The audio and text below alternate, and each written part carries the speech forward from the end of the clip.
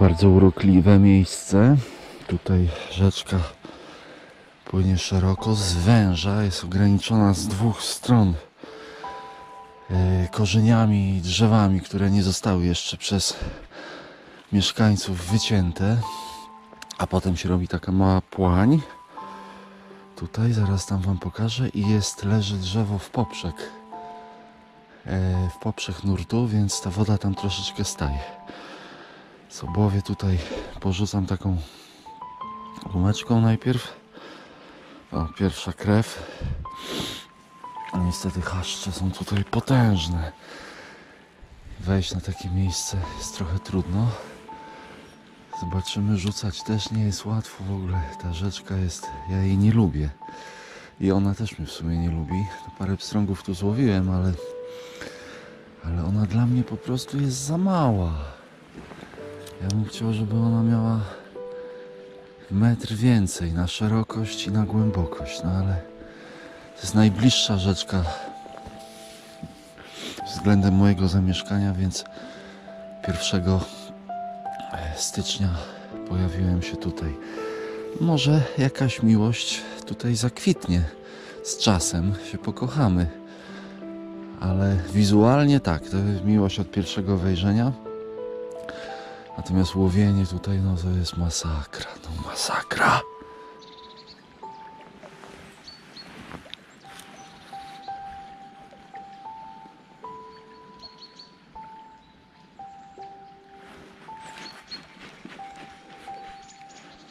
Pierwsze gałęzie zaczepione.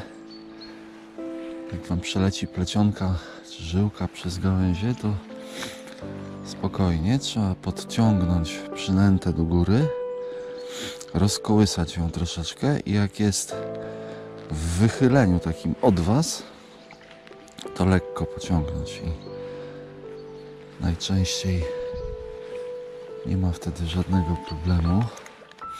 No ale rzutów już wykonałem z 50, więc ta precyzja troszeczkę lepsza.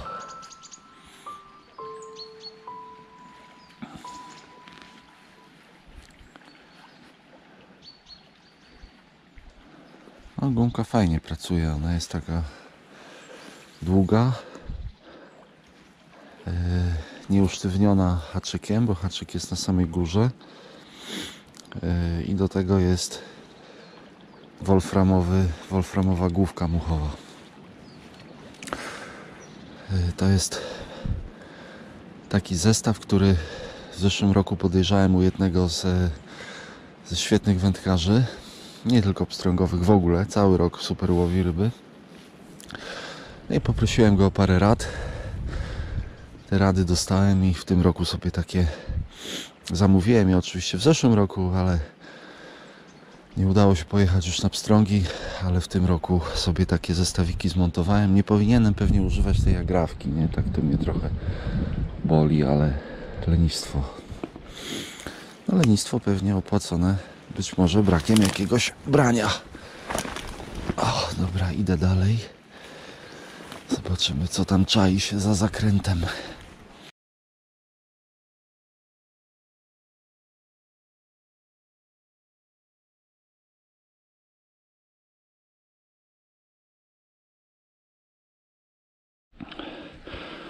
Zobaczcie, co tutaj bóbr zrobił. Nie dokończył uczty, ale drzewo trzyma się już ostatkiem sił. No, wycinanie drzew przez bobry, rozumiem. Wycinania drzew nadbrzeżnych, tak jak to, przez ludzi, nie rozumiem.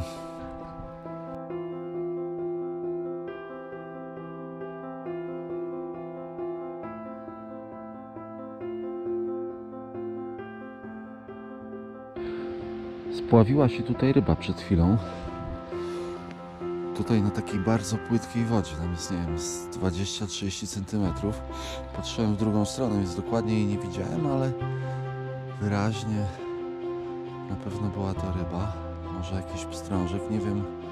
To strasznie płytko jest. Jest z pół metra, tu troszeczkę głębiej. Ale trochę tu postoję i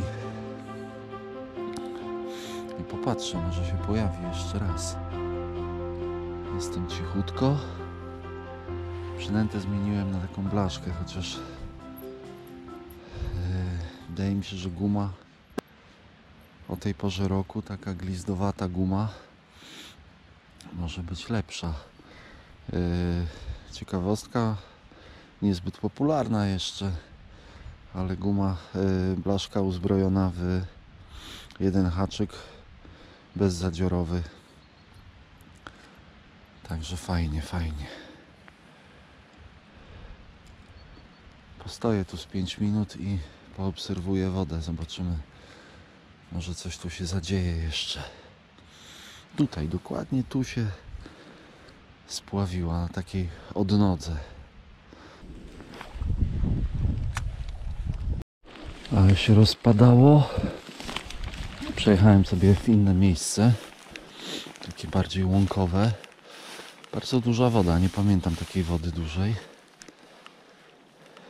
Chociaż też no nie bywam tu zbyt często. No i zobaczymy. Może jakiegoś kropkowańca uda się skusić.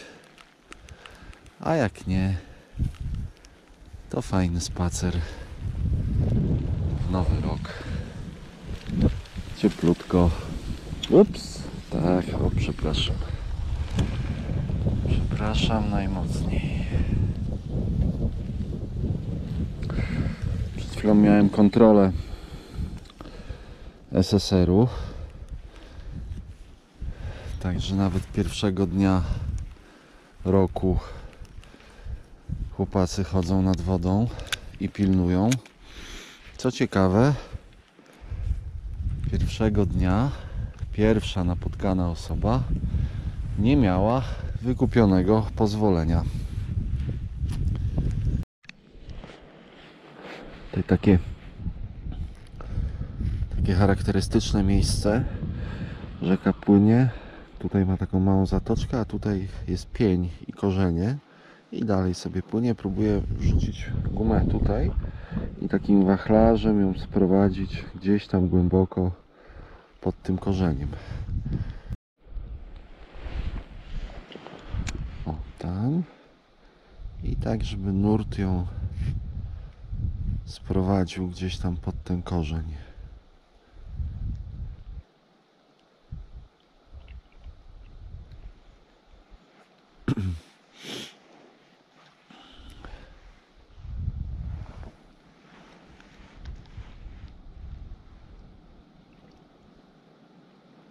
O tak.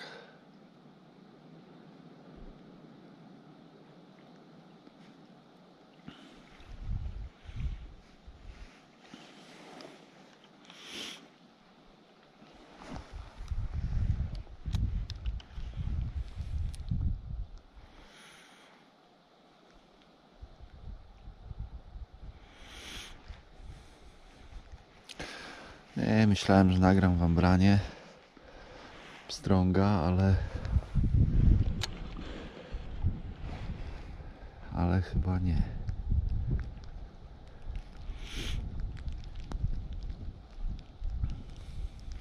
Lubię takie miejsca, bo miałem sporo takich przygód, w których za którymś tam razem prowadzenia tej gumy dokładnie, o teraz mam zaczep.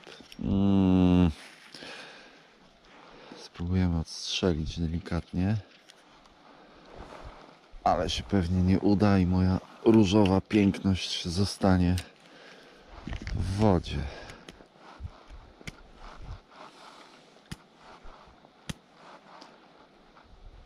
No, Jest tam taka gałąź.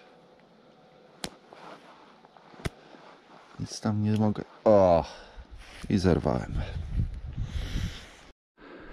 Nic tak nie irytuje w żabkach pstrągarza jak samochód nad rzeką na miejscówce, na której chciał pojechać, na którą pojechał. No ale nic. Yy, Druga rzecz, która irytuje strasznie, to jest to. To jest jakaś masakra. Naprawdę mam dwie reklamóweczki. Trochę tu sprzątnę. Straszne. Dlaczego ludzie nie dbają o miejscach, w których żyją? Jakby, nie?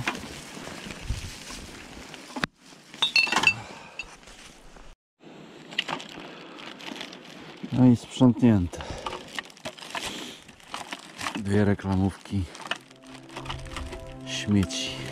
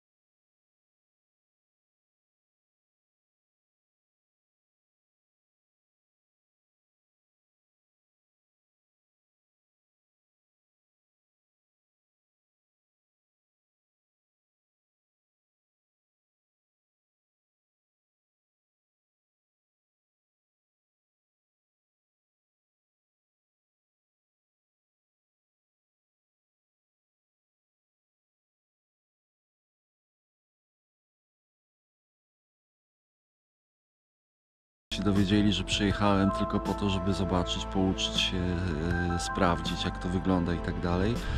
No, otwierali pudełka, e, pokazywali miejscówki, otwierali mapy Google'a, żeby mi powiedzieć, gdzie powinienem pojechać. E, Zabierali mnie ze sobą, mówili chodź, idziemy tam, zobaczymy na zakręcie, czy nie ma jakiejś ryby. No, naprawdę przeprowadziłem mnóstwo bardzo interesujących rozmów i i to jest najważniejsze. Jeden z wędkarzy przy mnie złowił metrowego łososia. Dzikiego, metrowego, srebrnego, przepięknego, metr tam z kawałeczkiem. E, łososia z rzeki na woblera. No, przepiękna ryba. Nie, nie, nie wiem, kto był bardziej podjarany tą sytuacją, on czy ja.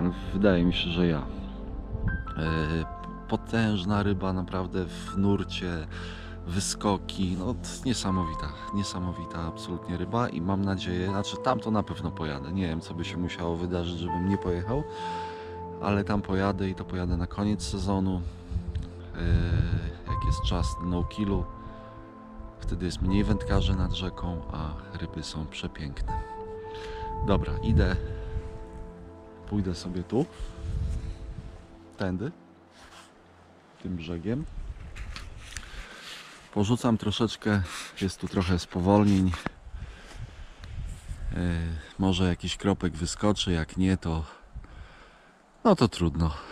Warto było pierwszego dnia nowego sezonu ruszyć się i o tutaj jakie fajne miejsce.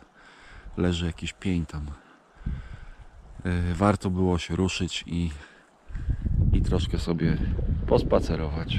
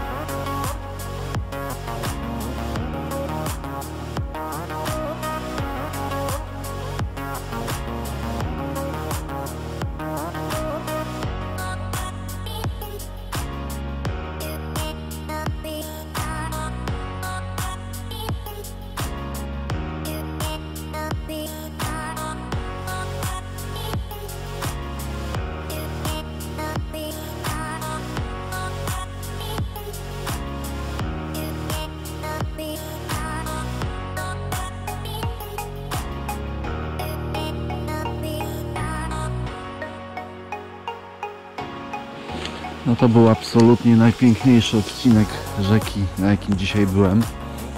Przyjadę tu sobie jeszcze raz. Może w marcu, jak się zrobi trochę cieplej. Przepiękny.